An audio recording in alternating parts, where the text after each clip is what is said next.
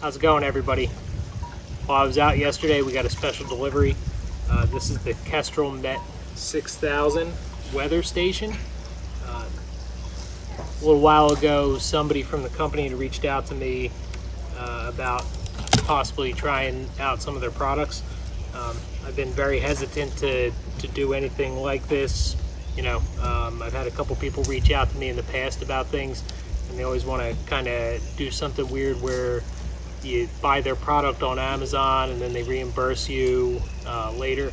I'm not not really keen on that, uh, but I've been in the I've been thinking about or planning been planning on starting some sort of uh, like a weather log uh, to kind of track things that are going on you know in the garden versus the current weather conditions and try to build like a little historical database um, this spring has been a little bit off because we've been running around so much getting ready for my sister-in-law's wedding. Um, and now that we're back in the garden again, uh, this is a, a, perfect time for this thing to arrive. So I wasn't really sure what we were getting, but after seeing the box, I looked it up and I'm pretty excited about this.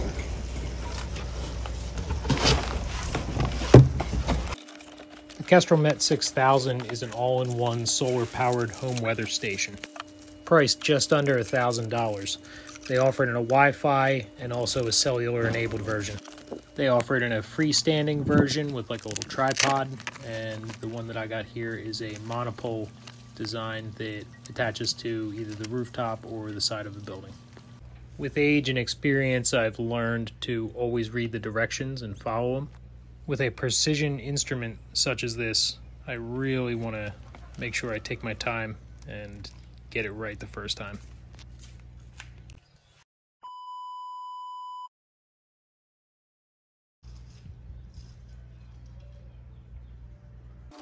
So often we find packages like this just filled with styrofoam and plastic. I was pleasantly surprised to find that there was zero of that in here all the packaging in here was made of very high quality cardboard that was clearly perfectly designed to, to be cut and folded in ways that would fit this just right. The only plastic involved was a couple small bags with parts.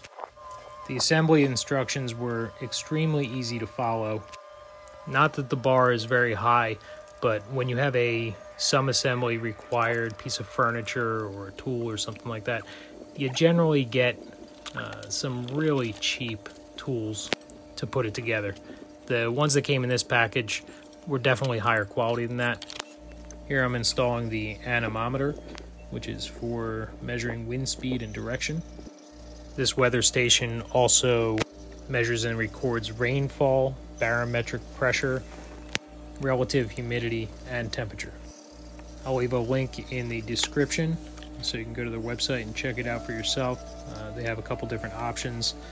It's a little bit of an a la carte. They have different attachments that add on, including a soil sensor array that measures moisture and temperature, a sensor for measuring leaf wetness, and also a sensor for measuring solar irradiance.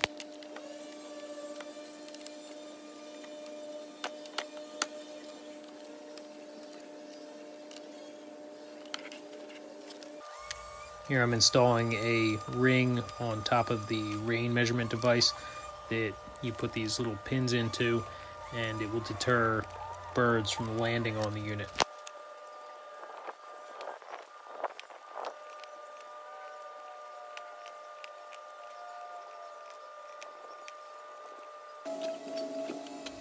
I made sure to dry fit the unit to the monopole before attaching the monopole. I wanted to make sure that everything was going to go on there properly uh, so that I wasn't trying to mess around with this up on the ladder.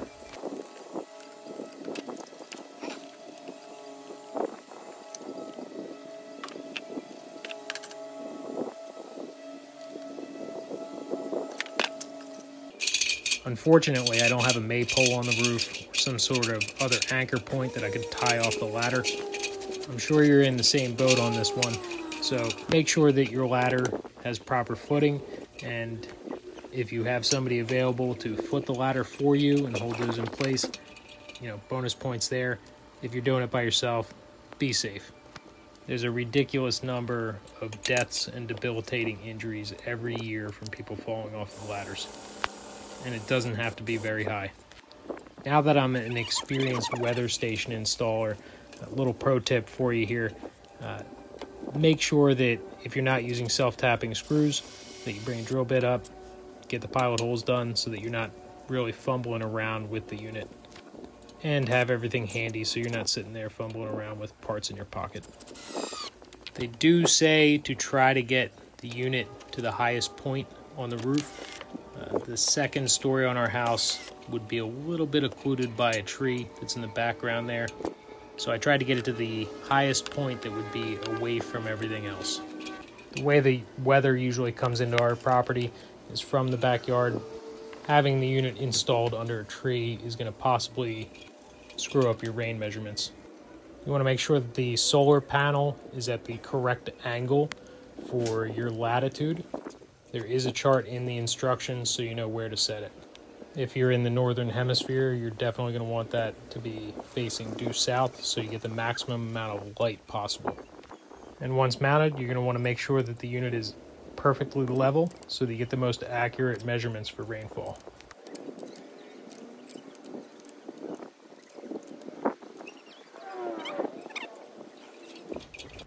So there it is, my Kestrel 6000 Wi-Fi enabled weather station. It's all set up. I've got the app all ready to go. So I'm gonna monitor for a few days and I'll let you know how it's going. Thanks for watching.